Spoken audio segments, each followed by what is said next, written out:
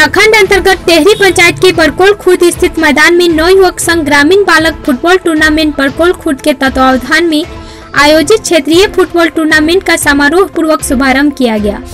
शुभारंभ मैच स्थानीय खुट्टी टार बरकोल खुर्द व मुटकी के टीम के बीच खेला गया। रोमांचक मुकाबले के बीच खुटी टार की टीम ने मुटकी के टीम को 2-0 गोल से पराजित कर अगले दौर के खेल में प्रवेश किया। इसके पूर्व फुटबॉल टूर्नामेंट का उद्घाटन टेहरी मुखिया प्रभा कुचुर व बरकोल पुलिस पिकेट में पद स्थापित सीआरपीएफ 172 बटालियन के सहायक कमांडेंट, गिरधर सिंह द्वारा संयुक्त रूप से फीता काट कर व खिलाड़ियों से परिचय प्राप्त कर किया।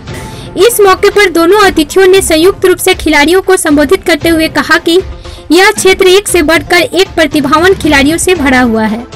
बस इन्हें निखारने की ज़रूरत है, जिसका प्रयास यहाँ के युवा लगातार कर रहे हैं। उन्होंने खिलाड़ियों से कहा कि आप खेल कर भी बेहतर करियर को हासिल कर सकते हैं।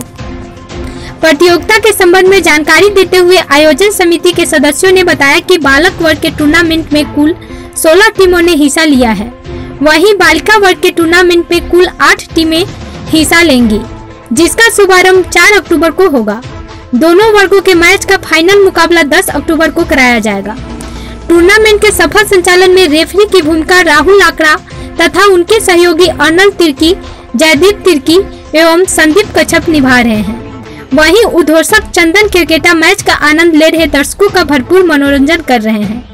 टूर्नामेंट के सफल आयोजन में नौ युवक संघ के अध्यक्ष अरुण लाकड़ा, उपाध्यक्ष पेतुष कच्छप, सचिव मंगल दास तिर्की, कोषाध्यक्ष राहुल लकड़ा, सदस्य सुकेश टोपो, कमलेश कच्छप दिकदार बाखला, चैता तिर्की, संदीप कच्छप राजेंद्र बाखला अनुकरण जयदीप आदि महत्वपूर्ण भूमिका निभा रहे हैं।